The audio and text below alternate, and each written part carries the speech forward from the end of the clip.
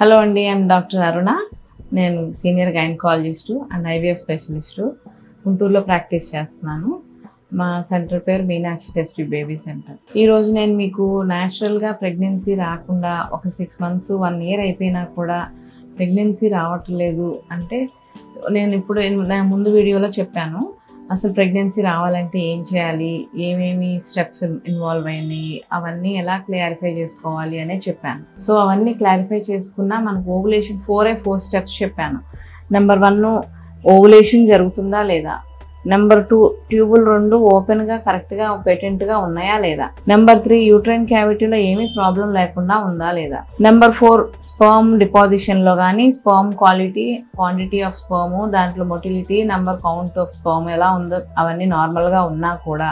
ఒక three four cycles ovulation జరిగినా కూడా ప్రెగ్నెన్సీ అవ్వడానికి కష్టం అవుతుంది. ఆ couple are failing to get pregnancy అన్నప్పుడు మనం ఇంకో కొత్త పద్ధతి చేస్తాం. అదేంటంటే ఇంట్రా యూట్రైన్ ఇన్సెమినేషన్ ఆ సెమెన్ శాంపుల్ ప్రాసెస్ చేసుకొని ఆ ఓవులేషన్ అయ్యే టైంలో దాన్ని ఇంజెక్ట్ చేస్తాం అన్నమాట. ఎలా అంటే పీరియడ్ వచ్చిన సెకండ్ డేలో ఇక్కడ నుండి ఓవరీలో నుంచి ఓ ఓవలేషన్ అవ్వడం కోసం ట్యాబ్లెట్స్ రాసిస్తాం.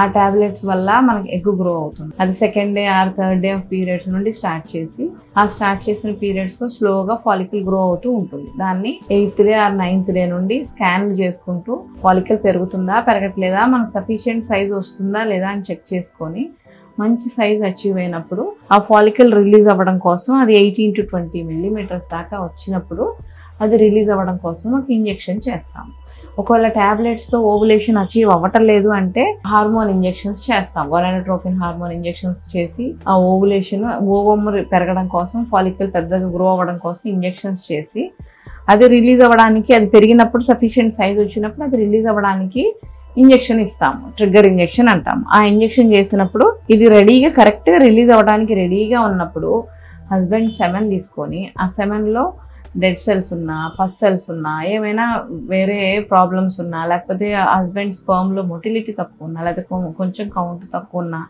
ఆ స్పర్మ్ని ప్రాసెస్ చేస్తాం అది ఆండ్రాలజీ ల్యాబ్లో ప్రాసెసింగ్ చేసి మంచి స్పర్మ్స్ మంచి మొటిలిటీ ఉన్న స్పర్మ్స్ గుడ్ కౌంట్ వచ్చేటట్టు మంచి మంచి డెడ్ సెల్స్ అవన్నీ ఫిల్టర్ అయిపోయేటట్టు స్పర్మ్ ప్రిపరేషన్ చేసుకొని మీడియాతోటి మిషన్లో మెషిన్లో పెట్టి సెంట్రిఫ్యూజ్ చేసుకొని మీడియాతోటి క్లారిఫై చేసుకొని బెస్ట్ బెస్ట్ శాంపుల్ తీసుకొని ఈ యూట్రస్లో ఈ ఓవులేషన్ జరగడానికి పెరి ఓవులేషన్ టైం అంటే ఓవులేషన్ జరగడానికి ఒక రెండు మూడు గంటల ముందు కానీ జరిగే టైంలో మనం ఇంజెక్షన్ చేసిన తర్వాత ఒక ముప్పై ఆరు గంటలకి ఓవులేషన్ అయింది అనుకుంటాం నార్మల్గా సో మనం థర్టీ ఫోర్ అవర్స్ నుంచి థర్టీ ఎయిట్ అవర్స్ మధ్యలో ఒక టూ అవర్స్ ఓవులేషన్ ముందైనా వెనకైనా పర్వాలేదు. ఆ టైంలో ఆ స్పర్మ్ని తీసి క్యాథెటర్ తోటి ఇక్కడ ఇంజెక్షన్ చేస్తాం అన్నమాట ఇక్కడ ఇంజెక్షన్ చేస్తే ఈ స్పర్మ్స్ స్పీడ్గా కదులుతూ వచ్చేసి ఇక్కడ రిలీజ్ అయిన ఫాలికల్ని ఊసైట్ని కలిసి ఫర్టిలైజ్ అవుతాయి. ఇంకా ఇదంతా న్యాచురల్గానే జరుగుతుంది. ఇక్కడ మనం ఐవీఎఫ్లో లా కాకుండా